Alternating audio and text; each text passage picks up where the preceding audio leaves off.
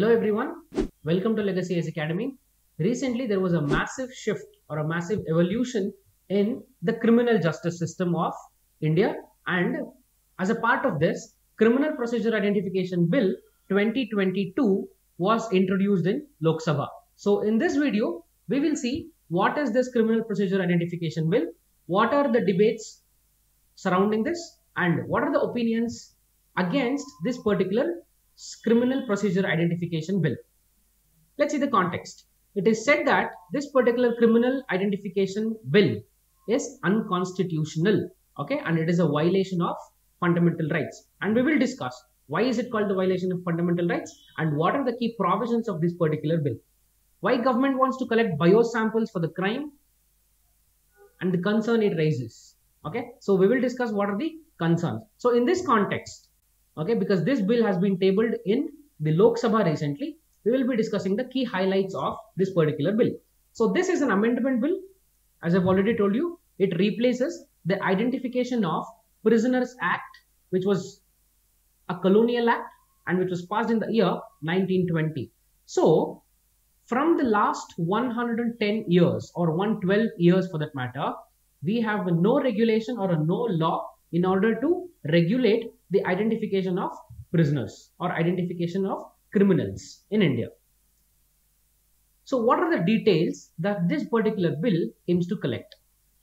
The earlier act, that is the Identification of Prisoners Act, demanded that the fingerprints and also footprints should be collected. Okay, this was what was demanded by the Act of 1920. But the bill, the recently tabled bill, also includes iris, that is the eyes scan, fingerprints, footprints, and the behavioral aspects like signature, handwriting, and also biological samples. And this is where the act becomes controversy. Act creates controversy when it talks about the biological samples, that is blood, semen, hair, and the swabs. And who are the criminals from which these particular details can be collected. Okay. There are three categories of people or persons from whom this particular identification marks can be collected. And the first one is it includes all the convicts convicted for a minimum of one year. If any person is convicted for more than one year, then such person should have should produce all these documents. And the second one is the arrested person. Suppose tomorrow if anybody is just arrested okay he's just arrested and even he has to produce all these documents. And the third person who is arrested under preventive detention law okay he's arrested under preventive detention law. Even this person is supposed to produce all these identification marks including the biological samples. And it is also said that if it is it's collected and what is to be done and this data that would be collected will be processed and will be stored with an organization called NCRB National Crime Records Bureau for the span of 75 years. For the span of 75 years NCRB to collect store and process the data. Imagine this is the highlights of the bill that was tabled. What is the advantage? Why is why do we need such a bill? So in this, we will also see can any person resist this particular collection of the data?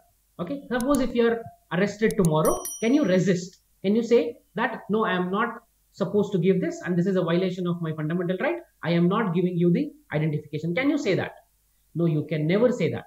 You can say that only with respect to biological samples. Okay we have discussed the biological samples. The biological samples are semen hair okay blood. These are some of the biological samples. Only with respect to these biological samples two exceptions are provided under the bill we will see what are those exceptions. The bill states that person accused of any offense can refuse to allow taking of his biological samples. But there are two exceptions. There are two exceptions. One is that those accused of offenses committed against women, any offense punishable with the imprisonment for a period that is not less than seven years, which means anyone accused or convicted under these two circumstances cannot cannot abide okay or cannot say that they are not okay to produce samples. In in other words we can say that anybody convicted or accused by these two offenses should mandatorily provide their biological samples. What is the issue with the others other people are mandatory to provide the data or the collection data apart from biological samples. For example, we have seen about the signature. Okay. So this anybody can say that I am not obliged or I cannot give you this particular sample. But with respect to biological sample, these two persons are mandatory. Okay. This they has they have to produce the biological samples. Now let's see what is the main aim of the bill.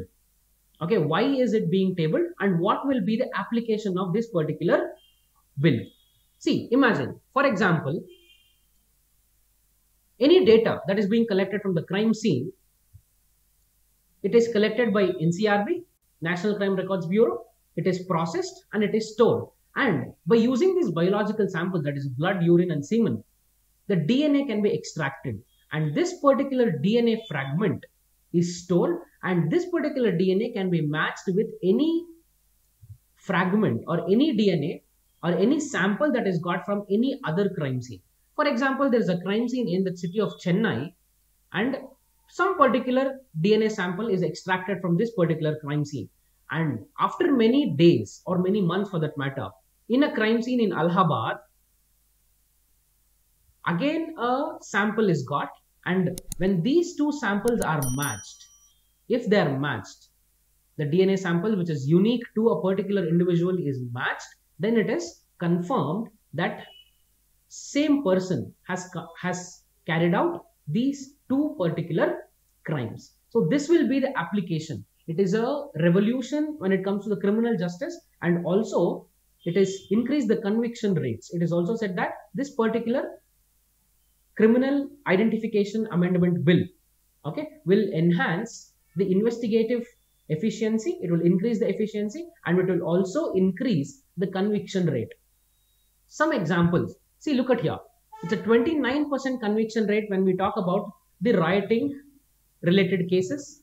Any rioting related cases or we can talk about mob lynchings for that matter or mob violence okay in these particular cases the conviction rate is as low as 29%. When it comes to the heinous crimes like murder and rape, okay, the conviction rates are really less and they're at 39% and 41%. So in order to increase the convicting rates, conviction rates and create deterrence and create deterrence and fast track the investigative and the jurisdictional process, okay, in order to fast track the judicial process. So this particular amendment bill will help a lot. So what are the issues with the proposed bill? Why is it being debated and why is the opposition parties? You have seen there are some parties that are calling this bill as unconstitutional one. So why is it being called unconstitutional? Okay, the first one, there's a lack of clarity. Lack lack of clarity with whom? The collection of these measurements. Okay, it is said that in the bill for convicts and also other persons. So even though this other person has not been defined in the bill, it is left to the discretion of the executive. So there is a high chance that the police can misuse this particular provision of other persons. Okay, this has not been defined.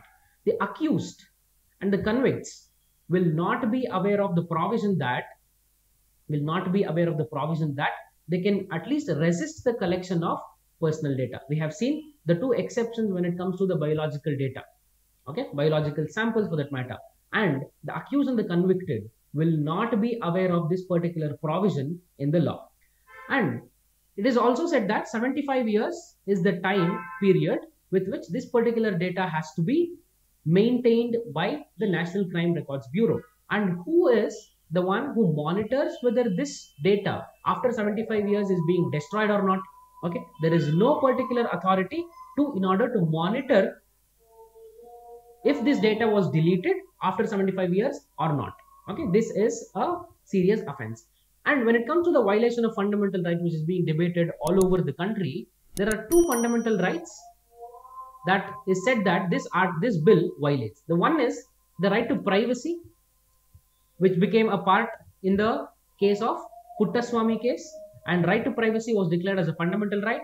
In this context, I want you to comment in the comment box which is that particular article which says that there's a right to privacy. Which particular article under the fundamental rights talks about right to privacy. I want you to comment in the comment box.